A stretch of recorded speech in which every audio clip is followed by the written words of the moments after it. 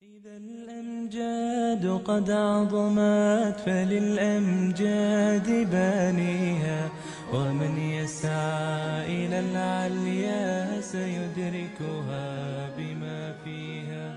ويبني بسم الله الرحمن الرحيم. الحمد لله والصلاة والسلام على رسول الله وعلى آله وصحبه أجمعين. Wir wollen diesen Beitrag, die Dauer von Ibrahim mit seinem Volk, besprechen aus Surah 21. ähm, Vers 52 bzw. 53 bis Vers 69 bzw. 70. Okay, ich gehe kurz drauf ein, ich lese vor und wir schauen mal, es gibt leider einige Leute, die behaupten, die Dawa sollte nicht direkt sein, die Dawa sollte nicht offensiv sein, man sollte niemand kritisieren. Es gibt sogar einige Wahnsinnige, die behaupten, man sollte gar keinen Aufruf, man sollte jeden so lassen, wie er ist und die Leute in Ruhe lassen. Ja, und ähm, wenn die Dawa bekämpft wird, dann sei die Dawa falsch gewesen, die soll nicht so provokant sein. Schauen wir mal, wie die Dawa von Ibrahim war, denn Ibrahim ist einer der größten Gesandten Allahs und äh, Ali, Ali salatu er wurde uns zu einem Vorbild gesandt. Er ist der Prophet, der neben dem Propheten Ali salatu als Uswa, als Vorbild im Koran beschrieben wird. Schauen wir, äh, schauen wir uns das mal an. Allah sagt im Koran, ähm, Vers 53 bzw. 52, als er, also Ibrahim, zu seinem Vater und dessen Volk sagte, was sind das für Bildnisse, welche ihr so eifrig verehrt? Da antworteten sie, wir sahen, dass auch unsere Väter sie verehrten. Wie gesagt, das ist die Übersetzung von Goldmann. Ja. Wir sahen auch, dass unsere Väter sie verehrten. Er aber sagte, wahrlich, ihr und eure Väter wart in offenbarem Irrtum verfallen. Das heißt, Ibrahim sagt ihnen hier ganz klar, direkt, offensiv und deutlich, ihr und eure Väter, wenn ihr diese Götter anbetet, seid ihr nicht im Irrtum, ihr seid im klaren und deutlichen Irrtum. Das heißt, es ist direkt, es ist kritisierend, das ist offensiv. Weiter.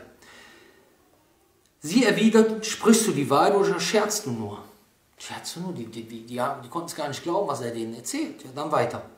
Er antwortet. So, jetzt gibt er denen die Antwort. Die, diese Götter sind falsch und jetzt schaut mal, was richtig ist. Er antwortete.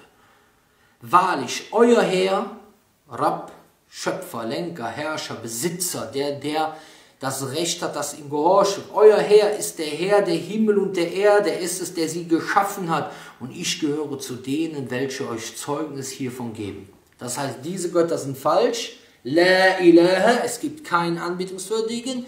Illallah, wer?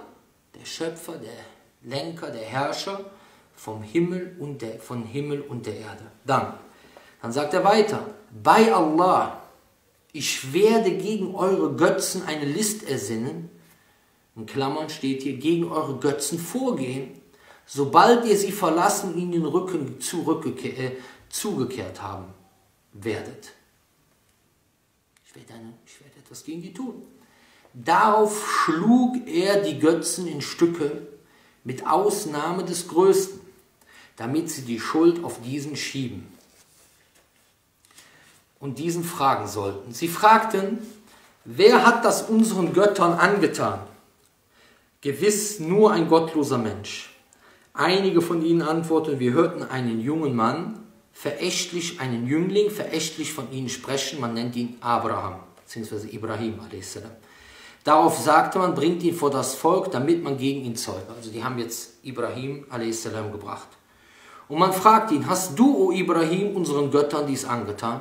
Er erwiderte, und das, das ist jetzt seine Antwort, um die Leute zum Nachdenken zu bringen. Er erwiderte, ich nicht, sondern der Höchste, hier steht der Größte, aber eigentlich steht dort Kabiruhum, also der, der Große von ihnen. Nee, der Große von ihnen hat es denen angetan. Ja? Fragt, fragt sie doch selbst, wenn sie sprechen. Das heißt, fragt die kaputten Götzen doch, wenn sie sprechen können. So, das heißt, er hat das extra gemacht, um sie zum Nachdenken zu bringen. Ja, in sozusagen in einer Debatte kann man so, so einen Stil anwenden. Ja? So, dann geht es weiter. Und nun wenden sie sich selbst und kamen zur Besinnung und sie besprachen untereinander, ihr seid gottlose Menschen. Das heißt, ihnen wurde dann klar, durch dieses Beispiel von Ibrahim, dass das, was sie machen, eigentlich totaler Quatsch ist. Ja, dann geht es weiter. Ja? Und das ist übrigens auch der Stil, den man anwendet in manchen Debatten. Wenn man zum Beispiel sagt, ja, Ja, da wurde ich dann auch kritisiert, ja, weil ich zu dem Jungen damals gesagt habe, ja, deine Götter haben dir gerade geholfen, das habe ich gesehen. So, warum habe ich das gesagt? Weil ich weiß, mit wem ich es zu tun habe. Ich habe es dort mit einem evangelikalen Christen zu tun, die glauben, dass wenn sie in solche Situationen kommen, dass Gott ihnen hilft, Wunder zu tun ne? und sie dann andere Leute besiegen können in der Debatte. Und er ist gerade, hat sich sowas von versprochen. Ist Jesus Gott, frage ich ihn. Er sagt ja. Weiß Gott alles? Er sagt nein. Ich sage also Jesus, äh, er sagt ja. Dann sage ich also, weiß Jesus alles? Und dann frage ich ihn nach äh, Markus 12, Vers 31 oder 13, Vers 31 und er sagt, und da sagt Jesus, dass er nicht alles weiß, dass er nicht weiß, wann der jüngste Tag ist. Und er sagt, dann sage ich zu ihm, wusste es Jesus hier oder hat er gelogen? Dann sagt er, äh, er wusste es nicht. Ah, okay, gut, alles klar. So. Das heißt, er ist gerade auf die Nase gefallen. So, und dann fängt er an und jetzt will er nur ins Mikrofon posaunen, ja, Jesus ist euer Herr, ihr müsst ihn annehmen. Und dann fängt er wieder anders rumzubrüllen wie vorher. Und dann sage ich, sieh, dein Gott hat dir gerade geholfen Warum? Um ihn zum Nachdenken zu bringen, weil diese Leute glauben, wegen dem letzten Kapitel von Markus, dass sie in gewissen Situationen solche Wunder wirken können. Ne? Nur mal so nebenbei, weil manche Leute leider nicht verstehen, wovon wir reden. Aber okay, weiter im Text. Das heißt, es geht in solchen Situationen, ist es nicht immer, dass man ja, äh, äh, äh mit den Menschen, so, man muss den manchmal auch die Augen öffnen, denen klare Ansagen machen. Ja? Aber natürlich in der Zeit, in der heutigen Zeit, in der Zeit der Kaffee- und Kuchen-Dauer, beziehungsweise die Dauer, die sich auf Kaffee und Kuchen, beschränkt, Kaffee und Kuchen beschränkt, ist natürlich klar, dass das nicht zur Geltung kommt. So. Ähm, so, bald darauf aber verfielen sie wieder in ihren Aberglauben. Wörtlich, sie neigten sich nach ihren Köpfen, Henning wurden auf ihre Köpfe gekehrt, verkehr, äh, äh, gekehrt, ja, so. du, äh, und, sag, und sagten zu ihm, du weißt ja wohl, dass diese nicht sprechen wollen. Er antwortet nur, wollt ihr denn statt Allah Wesen anbeten, welche euch weder nützen noch schaden können? Das heißt, er kritisiert die Götzen jetzt nochmal. Ihr habt gerade gesagt, guck mal, das ist dieselbe Situation hier. Ihr habt gerade gesagt, die können nicht sprechen. Hallo? Wollt ihr Leute an, wollt ihr jemanden anbeten, der euch gar nicht nützen kann? Wenn er nicht sprechen kann, wie will der euch nützen? Der kann ja noch nicht mal sprechen. So.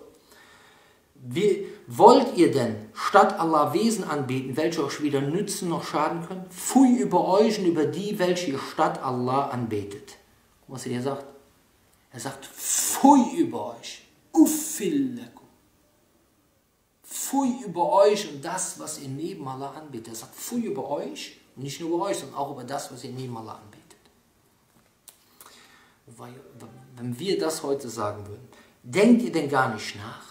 Denkt ihr denn gar nicht nach? Wollt ihr keinen Verstand haben? Ich bietet Sachen an, die euch nicht helfen können. Christen beten jemanden an, der gekreuzigt wurde, laut ihrem Glaube, der geboren wurde, der Hunger hatte, der Durst hatte, der auf Klo gegangen ist. Wollt ihr nicht nachdenken? Wollt ihr nicht nachdenken? Betet den an, der nicht geboren ist und niemals sterben wird, der kein Anfang und kein Ende hat, der die Welt erschaffen hat. Weiter. Ja. Denkt ihr denn gar nicht nach? Darauf sagten sie, verbrennt ihn und rächt eure Götter, wenn ihr eine gute Tat ausüben wollt. Was passiert danach? Sie wollen ihn bekämpfen. Das heißt, sie wollen ihn verbrennen. So, was verstehen wir daraus? Die Dauer war kritisierend, offensiv, direkt auf den Punkt, hat die Strafe erwähnt, ja. beziehungsweise hier wurde die Strafe die, an dieser Stelle nicht erwähnt, aber an vielen anderen Stellen, wie zum Beispiel in Suche 19, ja. das haben, haben, wir schon, haben wir auch schon darüber geredet. Ja. Einen Moment. Einen Moment. Ne, hier, wurde, hier wurde die Strafe jetzt gerade nicht erwähnt, aber trotz alledem an vielen, vielen, vielen, vielen anderen Stellen. Stellen und er wurde bekämpft. Das heißt, das ist die Dauer der Propheten. Er wird bekämpft. Und deswegen muss derjenige, der heute behauptet, dass die Dauer, die offensiv ist, die kritisierend ist, die, die direkt ist, die bekämpft wird, falsch ist, nicht weise ist, muss er sich fragen, ob die Propheten auch nicht weise gewesen sind.